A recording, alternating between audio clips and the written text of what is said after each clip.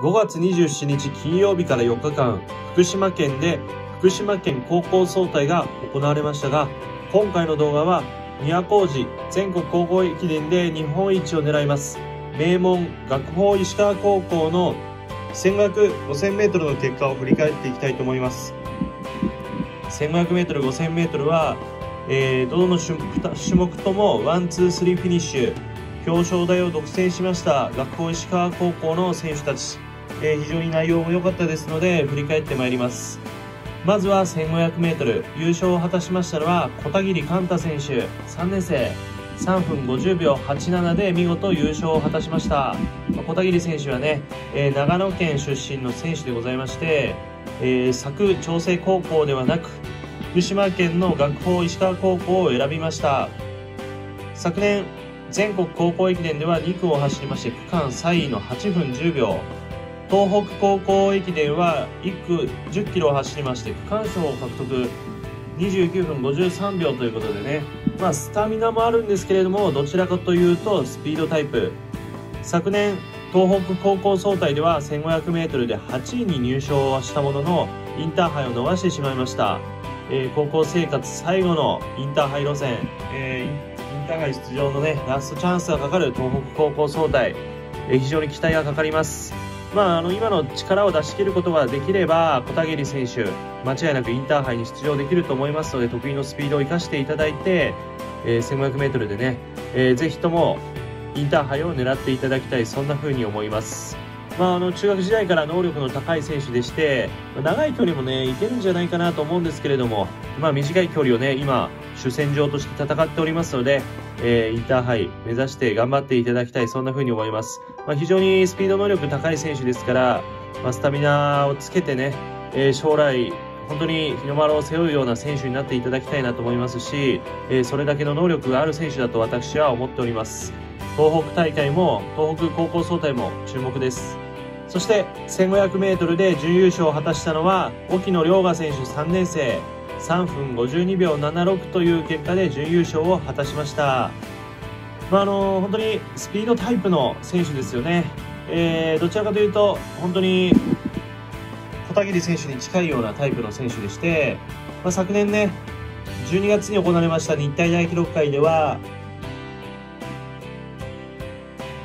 5000m が14分27秒ということで。そして今年の4月の日体大記録会では 5000m14 分22秒ということで、まあ、1500m の持ちタイムからしたらやや、まああの 5000m がね物足りなかったりしております。ただですね、まあ、あの高校生ですからまずはスピードを磨いていただいてちょっとずつ距離をね伸ばしていければそれでいいんじゃないかなと思います、まああのただですねえー、学校石川高校は本当に選手層が厚すぎてなかなかね、えー、14分20秒台半ばぐらいだと高校駅伝チャンスが回ってきませんからね、まあ、まずはインターハイ路線に集中していただいて、えー、そのうち後にですね駅伝も意識していただけたらななんていうふうに思います、まあ、沖野選手も小田切選手と同じく3年生ですからね、えー、最後のインターハイに向けて、えー、着実にねえー、歩みを続けているよそんな印象です。ぜひとも東北高校総体、えー、頑張っていただきたいそんな風に思います。福島県高校総体 1500m3 位に入賞を果たしたのは笹川康生選手。3分52秒81というタイムで3位入賞。表彰台を学法石川高校の選手が独占いたしました。4月の日体大記録会では 5000m に出場されまして14分11秒の自己ベストをマーク。昨年まで 5000m が14分17秒でしたから、まあ、あのしっかりね着実に成長を感じさせられます、まあ、スピードもあってスタミナもある選手で安定感もある選手なんですよね、えー、まあ高校生ながらスピードと安定感を持ち合わせる、まあ、素晴らしい選手ですけれども。まあ、あの 5000m のね方ではなくて 1500m で最後のインターハイ路線挑戦しておりますがしっかりね、えー、スピードも活かせてるそんな印象です。まあ、あの県大会は予選ある程度流せたと思うんですけれどもここから東北大会インターハイに進むにつれてなかなか前半ね、えー、流すっていうのが難しくなってくると思うんですよそういった中で笹川選手のスタミナや安定感っていうのはプラスに働くと思いますから今回は県大会3位ということで、まあ、チーム内3番でしたけれども、ぜひね、東北高校総体やインターハイでは、えー、今回ね、上位に入った小田切選手や沖野選手に勝つような、えー、そんなパフォーマンスもね、期待したいなと思いますし、まあ、可能性としてはあるんじゃないかなというふうに思います。続きまして 5000m に参ります。5000m は、えー、優勝を果たしたのは、学校石川高校3年生、大湊修斗選手、14分28秒24というタイムでした。まあ、大湊選手ね、えー、中学時代までサッカー部ということで高校入って陸上を始めたわけですけれども非常にクレバーな選手ということでね非常に有名ですよね、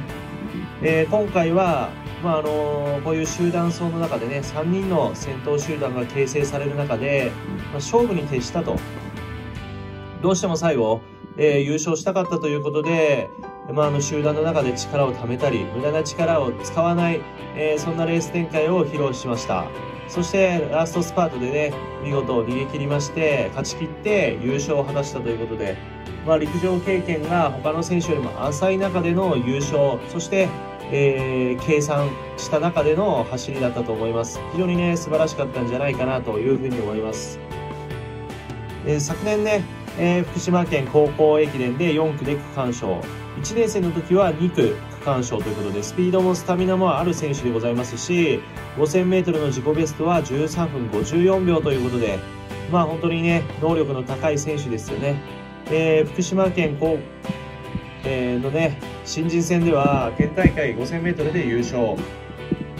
宮古路は3区を走りまして区間11位ということで、まあ、あの2年生、下級生の頃からチームの主力メンバーとして活躍されました大湊選手。まあ、あの最後のねインターハイに向けて非常に順調なんじゃないかなと思います、まあ、東北高校総体もね留学生がいたり力のある選手がいますけれどもぜひともインターハイの切符を掴んでいただきたいそんな風に思います。福島県高校総体、えー、5000m 準優勝を果たしたのは学法石川高校3年生山崎伊吹選手14分28秒85というタイムで準優勝を果たしました。昨年ね、えー、福島県高校総体2区で区間賞あ、福島県高校駅伝ですね、2区で区間賞を獲得しております。まあ、あの本当にスピードの能力と安定感のある選手でして、全国高校駅伝宮古路ではアンカーの7区を走りまして区間3位ということでね、えー、非常に安定感ありますよね 5000m も13分57秒が自己ベストということで13分台を持っておりますが昨年の東北高校総体では14位ということで、えー、インターハイの切符を手にすることができなかった。まあ、インターハイ争いからもね、かすりもしなかったというところで悔しさがあったと思います。えー、3年生最上級生ということで、まあ、ラストインターハイチャンスということでね、えー、ぜひともインターハイ路線活躍していただきたいなというふうに思います。次のね、東北高校総体が全て鍵握っておりますから、まあ、今日の走りを見る限りね、非常にえー、いい走りは、今回ですね、の走りは非常に良かったと思いますから、山崎選手のね、え、最後のインターハイ路線、注目したいなというふうに思います。福島県高校総体、えー、男子 5000m で3位に入賞したのは、学校石川高校2年生の馬場アンジェロ光選手、14分30秒28という結果でした。1500m、5000m を表彰台独占した学校石川高校ですけれども、その中で唯一2年生ですね、えー、残りの5名の選手は3年生なわけですけれども、馬場選手、えー、非常にね、素晴らしい走りだったと思います。まず、馬場選手の長所としては、身長が192センチあるんですよね。非常に大型ランナー、まあ、ポテンシャルは、才能はね、フィジカル的な能力で非常に将来楽しみなスピードランナーです。スピードもあって今回 5000m 走っておりますけれどもスタミナもあるということでね、えー、非常に楽しみな2年生エースですけれども春の高校以内駅伝はアンカーの6区を走りまして区間2位ということでね。学校石川高校かなり苦しんだんですけれどもその中でも馬場選手非常に素晴らしい走りを見せてくれました。4月の日程で記録会では 5000m14 分13秒の自己ベスト。まあ、あの今ね、高校2年生でも13分台の選手がおりますから、そういった意味ではまだ14分13秒ということでね、えー、世代トップではないんですけども、間違いなくトップランナーだと思います。そしてポテンシャルのある選手ですからね、えー、今後の馬場選手も非常に期待できます。まあ、あの身長の高い選手は足がね、非常に長いです。えー、オーバーストライドというかね、え非常に綺麗な走りを見せますけれども、一方でね、疲れてくると腰が引けてくる、腰が落ちてくる、そんなね、えー、走りになりかねませんから、そういった部分を克服する体幹、フィジカルを鍛えれば、さらにパワーアップするんじゃないかなと思います。まあ、高校2年生で伸び盛りですから、インターハイ予選に注目してみたいなと。ぜひとも東北高校総体をね、勝ち抜いていただいて、まあ、インターハイまでね、時間ありますから、でそこまでもう一伸び、もう二伸びしてもらえれば、チームのね、偉大な先輩たちにね、えー、追い抜くような、そんなね、選手に成長するんじゃないかなと思います。ということで、今回の動画は、5月27日金曜日から4日間、福島県で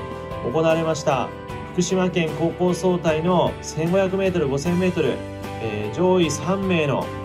えー、学校石川高校のね、出身、えー、選手をね、紹介、解説させていただきました。まあ、あの、独占、表彰台独占した 1500m、5000m でしたけれども、えー、本当にね、学校石川高校の選手の良さ、強さがね、垣間見れたと思います。東北高校総体の学校石川高校の選手からも目が離せません。以上、